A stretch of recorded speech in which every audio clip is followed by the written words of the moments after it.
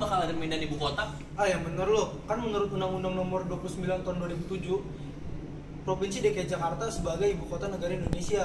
bener banget tuh Ta- tapi kan gue juga nggak setuju sih karena banyak faktor tuh yang buat ibu kota itu susah dipindahin contohnya ada faktor efektivitas Oh iya, gue setuju banget tuh. Kita ngomongin soal waktu. Pemindahan ibu kota tuh butuh perencanaan yang matang. Benar. Kita nggak bisa secara instan pemindahan ibu kota. Nah, waktu itu kan nggak kan nggak panjang. Mendingan buat mikirin masalah-masalah yang lebih urgent deh, yang lebih mendesak di Indonesia. Ah bener banget tuh gung Nah, terus selain faktor efektivitas bro, gue pikir itu ada faktor ekonomi. oh iya bener faktor ekonomi ya gung toh negara kita butuh biaya banyak lagi buat pindahin ibu kota kayak buat bangun gedung-gedung bangun prasarana sarana dan prasarana pemerintahan sementara itu menurut gue sih buka peluang buat terjadinya korupsi di pemerintahan Bener banget, bener nah kira-kira faktor apa lagi gung ya? Faktor sosial. Kita ngomongin faktor sosial. Masalah yang ada di ibu kota kita ini kan kemacetan dan pengangguran.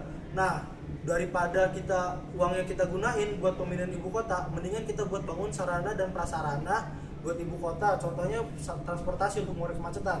Kan kalau kita bangun transportasi itu kan justru buka lapangan kerja buat para pengangguran bro. Setuju nggak Ah, lo? setuju banget tuh. Abis itu hilang juga kemacetan ya iya terus ada juga tuh faktor lingkungan ah iya faktor lingkungan toh mau nggak mau kita harus babat hutan lagi sementara dunia ini kan lagi global warming mau nggak mau kita kan juga butuh hutan nggak bisa kita nebang-nebang sembarangan buat bikin gedung-gedung sembarangan ya kan Iya bener banget. Nah, Hmm. terus menurut gue sih ya, jadi kesimpulannya itu pemindahan ibu kota tuh malah nambahin masalah deh, bukan jadi pemecah masalah. Bener pemindahan banget yang tuh. kurang bijak.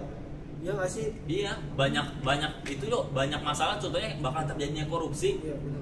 Terus per- malah malah nambah masalah baru di kota lain mendingan kita bagusin Jakarta dan duit-duit yang buat pemindahan ibu kota kita gunain buat masalah menyelesaikan masalah-masalah yang ada di negeri kita bro Iya bener banget.